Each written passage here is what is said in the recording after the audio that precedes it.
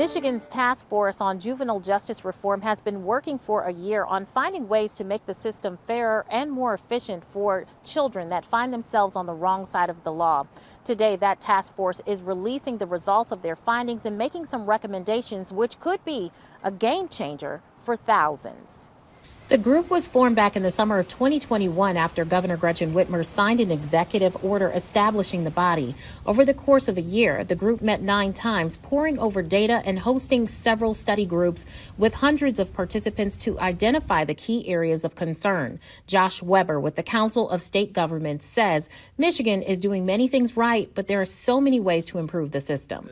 There's a lot of good things happening in Michigan, but we were surprised that from one county to the next, how different the system looks. And so that's one of the real benefits of this process and of the recommendations is that is it doesn't um, take away from local discretion, but it creates a statewide floor of kind of best practices for all local courts to avoid what we call sort of justice by geography. Some of the recommendations include creating a statewide juvenile public defense system, expanding diversion opportunities for youth who are not a public safety risk, increasing funding for effective community based programs, and adopting data driven tools to guide diversion, court, and detention decisions. Weber says the report is the end of one process but begins another process. The goal really is to translate now those recommendations into legislative changes, appropriation changes, court rule changes, administrative changes.